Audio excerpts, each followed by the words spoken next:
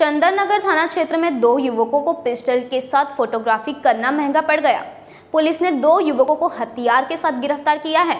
Indore police लगातार अवैध हथियार पकड़ने पर कार्रवाई कर रही है, लेकिन फिर भी शहर में अवैध हथियारों की खरीद फरोख्त बढ़ती ही जा रही है। ऐसी ही एक खबर पुलिस थाना चंदन नगर थाना क्षेत्र की है, जहाँ पर बदमाशों द्वारा अवैध हथियारों के साथ फ़ोटो वायरल होने के बाद चंदन नगर पुलिस ने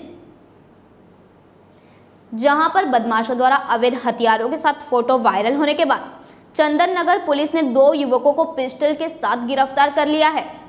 आरोपी ने अपनी फेसबुक प्रोफ़ाइल पर फ़ोटो पोस्ट की थी।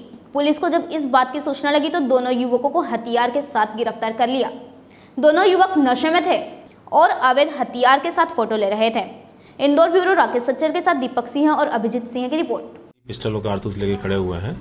इस सूचना पर से इनको तत्काल रेड की गई और इन दोनों को ही गिरफ़्तार करके आर्म्स एक्ट के तहत प्रकरण पंजीबद्ध किया गया और आज न्यायालय में पेश किया जा रहा है। ये दोनों व्यक्ति गब्बर पिता बाबूलाल बंजारा जवाहर टिगरी का रहने वाला है ये गडरिया मोहल्ले का रहने वाला है। पूछताछ में क्या सामने आया? कहाँ से क्या कहाँ से लेके आ रहे थे? बेचने को निकले थे या कोई वारदात को अंजाम ये आ, इनके द्वारा काफ़ी समय पहले ये पिस्टल लेके अपने पास रखी गई थी।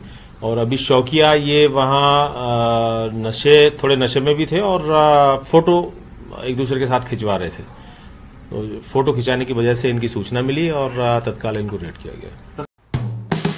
हेलो फ्रेंड्स आप देख रहे हैं हमारा channel S W twenty four news हमारे सारे वीडियो सबसे पहले देखने के लिए आप हमारे चैनल को सब्सक्राइब करें और पास में लगे बेल आइकन को दबाना बिल्कुल भी ना भूलें।